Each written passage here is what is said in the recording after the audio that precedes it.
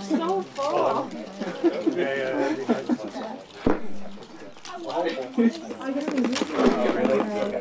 It was in a remote pasture of a secluded ranch in the hill country where we found a group of college kids digging in the dirt. But look closely, and you'll see that there is structure and method and documentation to go along with the excruciatingly slow and meticulous work. These kids are on a mission. It is extremely slow work. Uh, each day we bring down the whole pit by about five centimeters. Takes patience. A lot of patience. It's been six years since they started unearthing the secrets found in this soil, but that's the pace science takes in the real world. And the whole world is watching and waiting for what this team is uncovering. At first glance, this just looks like any other archaeological dig site, but this one is different. Dr. Michael Waters and this group of students are here to rewrite the history books.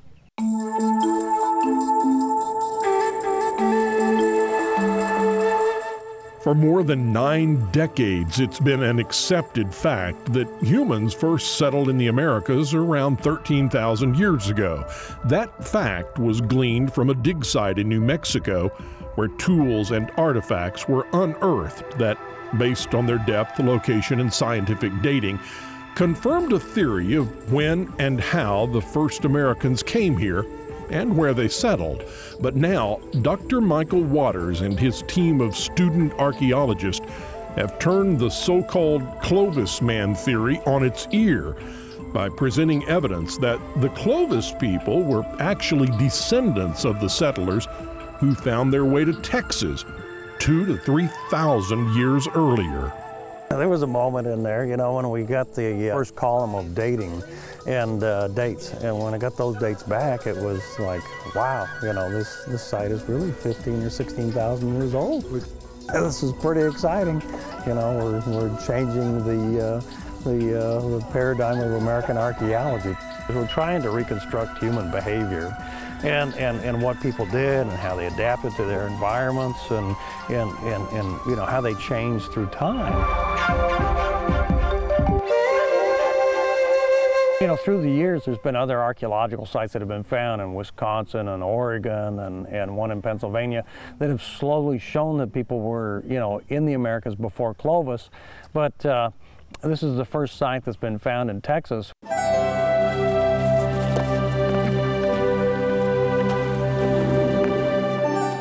When those first Texans showed up here, they left a signature. Dr. Waters' team is scraping back the layers of time to see what they left here at what he says was a campsite for tool making.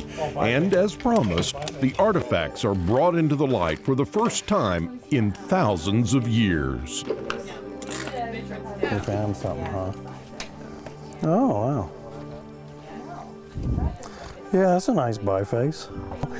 This is some kind of probably little tool, but we're the first people to look upon these with any kind of notion of interest in probably about 8,000 years. So it's, it's really interesting to, to, really touch these for the first time and you get a chance to really inspect them. It's, it's fascinating. And it's the light itself that reveals their age. Traditionally, we, we try to date archaeological sites using the radiocarbon method, and, and we can date bone or we can date charcoal. But unfortunately, here at the site, we don't have either one of those because it's central Texas. Things like that just don't preserve. And, and so instead, we turn to utilizing a, tech that we call, a technique we call the luminescence dating technique. And with this technique, you can date the last time sediments were exposed to sunlight. Brandon Finnerty is a student from Canada whose find is just another piece of an enormous puzzle. It's really almost a chance to play time detective. You get a chance to really piece out how humans behaved in a deep, deep past, and uh, it's a spectac spectacular feeling to finally recreate that. An interesting fact about this type of archaeology, while it is human artifacts the team is searching for, the artifacts themselves are not what they value most. Archaeology is the documentation. The artifacts are beautiful. We're happy to see them. We love them. We wouldn't have gotten in archaeology if we didn't like them, but that's not important. If uh, a great flood came through tomorrow and took all of our artifacts away, we'd be sad, but if we had the paperwork still, we'd have what was important for us. To me, the most fascinating thing you could find at a site would be Clovis material. It's very exciting, and, and so we're still trying to understand what Clovis is, but also too, it's uh, probably the most exciting thing for me is to find material older than Clovis like we had here. And that's what the Center for the Study of the First Americans is all about at Texas A&M. Yeah, all the bags that you see here, this is all part of the material that we bought back from the site. Back on the A&M campus, tens of thousands of tiny artifacts are examined, cataloged, and prepared to add weight to the evidence that Dr. Waters' controversial find changes everything.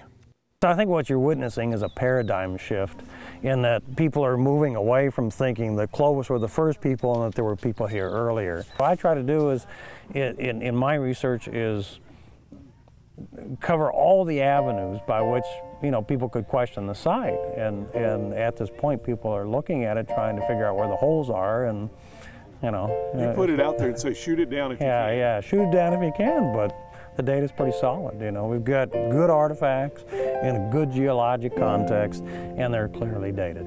It's an interesting time to be in the first American fields.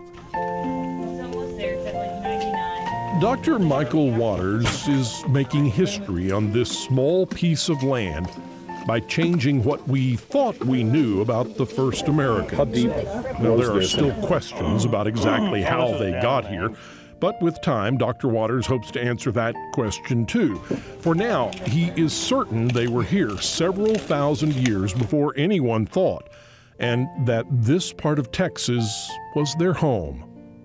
All the answers lie within the Texas ground, and Dr. Waters hopes to bring the truth to light, one centimeter of soil at a time. Here in this little valley a, a, secret that's finally being revealed, telling the story of the first Americans. And we don't know if out there on another piece of property there might even be an older archaeological site, but that's the thrill of the discovery and the hunt.